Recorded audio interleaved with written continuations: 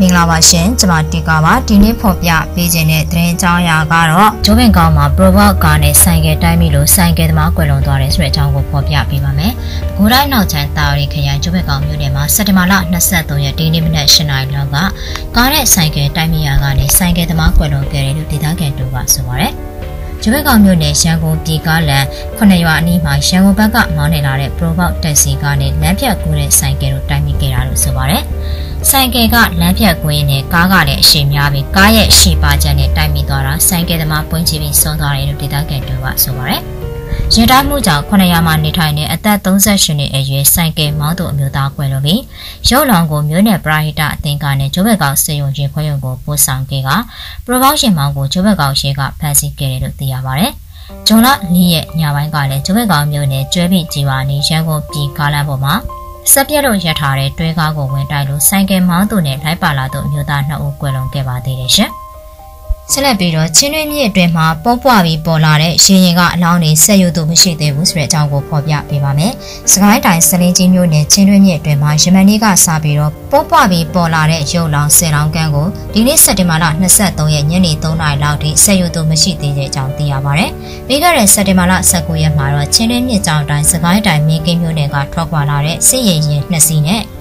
ဖလက်ခွန်ရေရင်တွေနဲ့ဖလက်ခွန်တစ်စီးကတော့ မောက်ကတော်ကြီးရွာနေညညို့ရွာကနေရှမန်နေ့စက်တင်ဘာလ22ရက်နေ့မှာတော့အလောင်းတွေပေါ်လာခဲ့တာဖြစ်ကြောင်း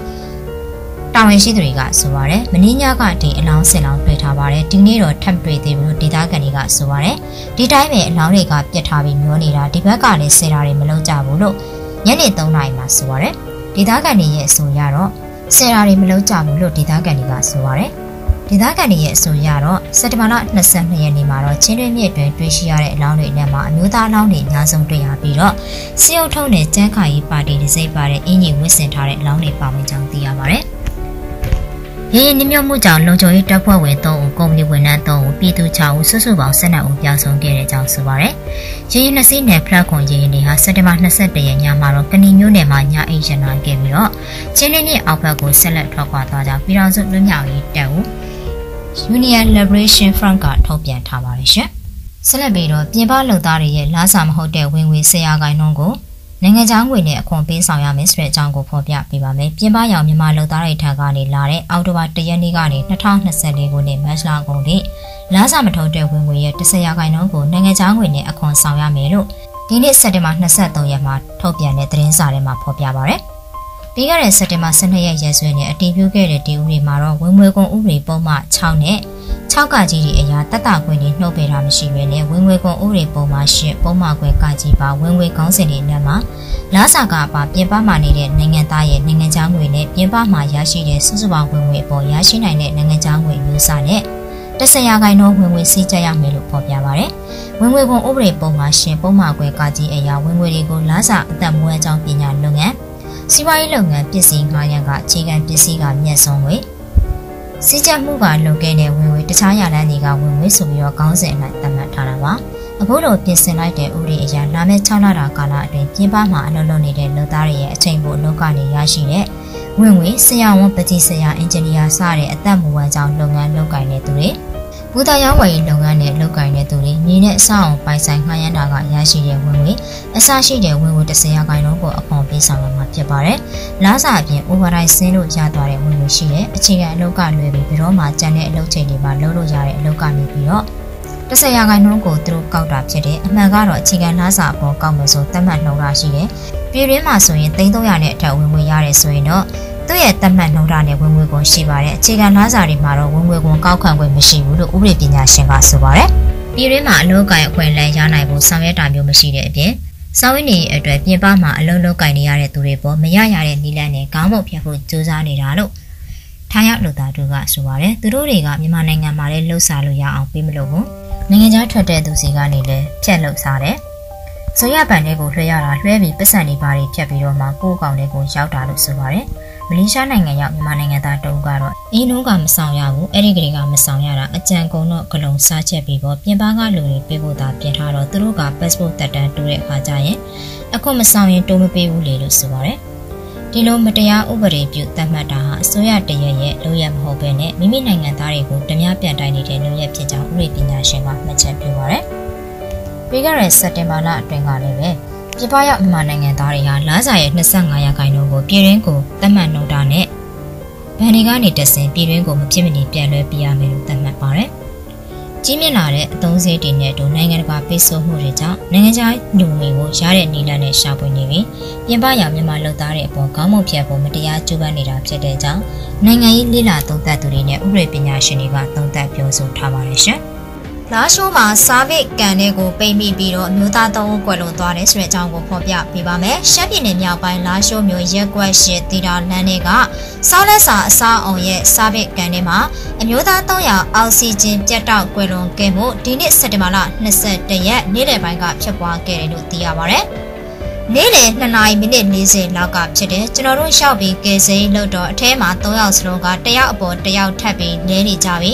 ရေကလည်းတပေတော့ရှိတယ် ရေပေါ်ကိုပေါ်ယုံလေးပဲကျွန်တော်တို့သုံးသက်တာတော့တယောက်ကဆင်းပြီးသတိလစ်တဲ့ချိန်နောက်ထပ်ဆင်းကြရမှာအကုန်လုံးအောက်ဆီဂျင်ပြတ်ပြီးလဲကြတာလို့ထင်တယ်အထက်မှာညမ်းနေဘာမှမဖြုတ်ရသေးဘူးဖြုတ်ဖို့ဆင်းတာမှာအောက်ဆီဂျင်ပြတ်တဲ့သဘောပါလို့ဓမ္မရခိတနာယင်းနဲ့လူမှုကူညီအသင်းဥက္ကဋ္ဌကဆိုပါတယ်စားဖိကန်နဲ့ပိတ်မိပြီးတော့အောက်ဆီဂျင်ပြတ်တောက်တဲ့သူတွေကိုရေးပေါ်အသက်ကယ်နည်းတွေအသုံးပြုပြီးကယ်ဆယ်လုပ်ခဲ့ပေးမယ်လည်းပဲကျင်းထဲမှာပိတ်မိချိန်ကြာသွားတာကြောင့်အသက်ကိုမကယ်နိုင်ဘူးလို့သိရပါတယ် အဲ့ဒီစာပေကံကအနက်၈ပေလောက်ရှိပြီးတော့အပေါ်ဝင်ပေါက်ကလူတကိုဝင်ုံသားရှိတယ်လို့သိရပါတယ်။စာပေကံနဲ့အလုတ်ဆင်းလုံရင်ကနေအောက်ဆီဂျင်ပြတ်သွားတာပေါ့ကျွန်တော်တို့ရှောက်သွားပြီးတော့အထဲကနေကယ်ပြီးတော့အပြင်ထုတ်လာတော့အသက်မရှိတော့ဘူး။အဆောက်အုံကစောင့်နေစေတိုက်ပေါ့ဆုံးတဲ့သူတွေကအသက်30ပတ်ချာနေဒီပါလို့လာရှိုးလူငယ်များလူမှုကူညီအသင်းတာဝန်ရှိသူတို့ကဆိုပါရယ် လက်ရှိမှာကွယ်လွန်သူအမျိုးသားရှုပ်လောင်း၃လောင်းကိုလာရှိုးပြည်သူစေယုံကရင်ခွဲရုံကိုလူမှုကူညီအသင်းတွေကပို့ဆောင်ခဲ့တယ်လို့သိရပါတယ်ရှင်ချင်းရင်းမြစ်ထဲမှာရေရင်တစည်းနှင်းမြုပ်ပြီးတော့ခီးတဲ့တရားကျော်ပျောက်ဆုံးနေတဲ့ဆိုတဲ့အကြောင်းကိုဖော်ပြပေးပါမယ်။စကိုင်းတိုင်းကလေးခရိုင်မင်းကင်းမြို့နယ်မော်ကတော်နဲ့ ပန်းဆက်ရွာအကြားချင်းရင်းမြစ်ကြောင်းထဲမှာဒီနေ့စက်တင်ဘာလ19ရက်မနက်9:00နာရီဝန်းကျင်လောက်ကရင်ရင်တစည်းနှိမ့်မြုပ်ပြီးတော့ခီးတဲ့ရီရှာနဲ့ချီကပျောက်ဆုံးနေတယ်လို့ရင်ရင်လုပ်ငန်းရှင်အဖွဲ့အစည်းကသိရပါဗျ။ချင်းရင်းမြစ်ကြောင်းအတိုင်းအထက်ကနေစုံစင်းလာတဲ့ကုန်တင်ရင်ရင်ဖြစ်တဲ့မော်ကတော်ရဲ့အောက်ဘက်မြောင်းစင်းရွာနဲ့အကြား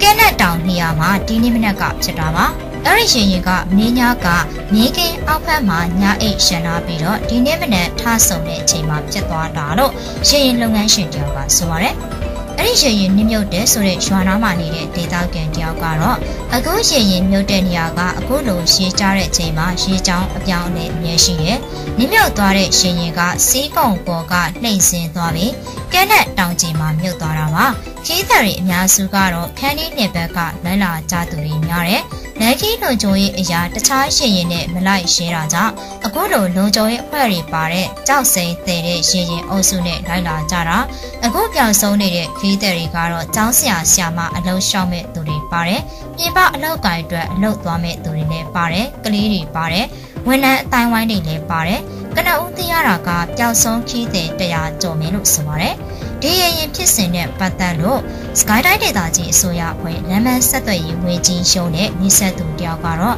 ဒီမနက်ရင်ရင်နှမြုပ်တယ်ဆိုတာအတည်ပြုလို့ရတယ်။ကယ်ဆယ်ရေးနဲ့ရှာဖွေရေးလုပ်ငန်းတွေစတင်လှုပ်ဆောင်နေပါပြီ။ပြောင်းဆုံးသူအရေးအတွက်ကတော့စရင်ပြုစုနေစဉ်ဖြစ်တယ်လို့ဆိုပါတယ်။အခုရင်ရင်နှမြုပ်တယ်ဆိုတဲ့ကက်နက်တောင်နေရာမှာပြီးခဲ့တဲ့2000ခုနှစ်ရှေးကြချိန်ဝန်းကျင်လောက်ကမော်ယာဟ ோம் လင်းခင်းတဲ့တင်အမြန်ရင်ရင်တစီနှမြုပ်ပြီးခင်းတဲ့20ကျော်ပွဲတော်ခဲ့ပါသေးတယ်။ ဒါအပြင်ပြီးခဲ့တဲ့2016ခုနှစ်အောက်တိုဘာလမှာလည်းရင်းမပင်ခရိုင်ကဏီမြို့နယ်နဲ့မင်းကင်းမြို့နယ်ကြားမြေချောင်းတွင်းရွာစိတ်ကမ်းမှာရှင်ရင်တစည်းနှမြုပ်ပြီးတော့ခီးတဲ့တရားဝင်းကျင်ပွဲတော်ခဲ့တယ်လို့ဒေသခံတွေစီကသိရပါတယ်ရှင်။ရန်ကုန်မှာရေထဲမှာကွယ်လွန်နေသူ၃လောင်းနှစ်ရက်အတွင်းတွေ့ရှိတယ်ဆိုတဲ့အကြောင်းကိုဖော်ပြပေးပါမယ်။ရန်ကုန်ပုရထောင်မြို့နယ်နဲ့ကျင်းမြနိုင်မြို့နယ်တွေကရန်ကုန်မြစ်အတွင်းသင်္ကန်းကျုံ မြို့နယ်မငွေချောင်းထဲမှာကွယ်လွန်နေတဲ့အလောင်း၃လောင်းတွေ့ရှိခဲ့တယ်လို့မြို့ကန်ကယ်ဆယ်သူတွေကဆိုပါတယ်။စက်တင်ဘာလ15ရက်နေ့ကညနေ3နာရီခွဲလောက်ကဗုဒ္ဓမြို့နယ်နန်းတီတာရန်ကုန်ဒလကရိုးစိတ်ခံတရာဘော်ဒရာနေမှာရင်းနှီးပွားလို့နေတဲ့အသက်40အရွယ်အမျိုးသမီးရဲ့ရှုံတော်ကိုတွေ့ရှိခဲ့ပြီးတော့မြလကယ်ဆယ်အသင်းကစေယူကရန်ကုန်ပြည်သူ့စေယုံကြီးကို PR017 နဲ့ပို့ဆောင်ပေးခဲ့ပါတယ်။စက်တင်ဘာလ14ရက်ညနေ9နာရီခွဲလောက်ကတော့ ကြည့်မနိုင်မြို့နယ်ဘားကရငှက်ပြောစီနီရန်ကုန်မြစ်ထဲမှာရင်းနှစ်ခွန်တော်နေတဲ့အသက်30ကျော်အရွယ်ပိုင်ရှင်မဲ့အမျိုးသားရုံတော်ကိုတွေ့ရှိခဲ့တာကြောင့်မြင်းလက်အသင်းကပဲ PR 024အမှတ်နဲ့ရန်ကုန်ပြည်သူ့စေယုံကြီးကိုပို့ဆောင်ပေးရပြန်ပါတယ်။လေးလက်ကင်ဆယ်အသင်းတာဝန်ရှိသူကတော့ငပြောစီအနားမှာတွေ့တာကအမျိုးသားနောက်မှာလက်မှာကမီးအိမ်ပုံစံတက်တူထိုးထားပါတယ်။ပိုင်ရှင်လည်းမရှိသေးဘူး။စက်တင်ဘာ15ရက်မှာနောက်တစ်လောင်းထပ်တွေ့တယ်။ပန်းဆိုးရန်စိတ်အနီးမှာရည်ရဲမျောနေတာကရုံးတောင်းထားတဲ့အမျိုးသမီးအနားမှာလို့ဆိုရတယ်။ တင်ရကျုံမြို့နယ်မှာရှိတဲ့ငမိုးရဲ့ချောင်းထဲမှာရည်ရဲမျောပါခွဲလွန်သွားတဲ့အသက်40ကျော်အရွယ်မျိုးသိန်းကျော်လာကိုအမေရိကန်လူငယ်များအသင်းကမြရကုံ33ရက်ွက်ပြီးမှစက်တင်ဘာလ14ရက်ညနေ6နာရီကျော်ကဆင်နွှဲခဲ့ပါတယ်။ကွာလွန်သူရဲ့မိသားစုဝင်တွေနဲ့အဆက်အသွယ်များရှိသေးတယ်လို့သိရပြီးရုပ်လောင်တွေကိုအမေရိကန်အသင်းနဲ့မြောက်ကလာပါမြို့နယ်မီရာဝီစေယုံကြီးကိုပို့ဆောင်ပြီး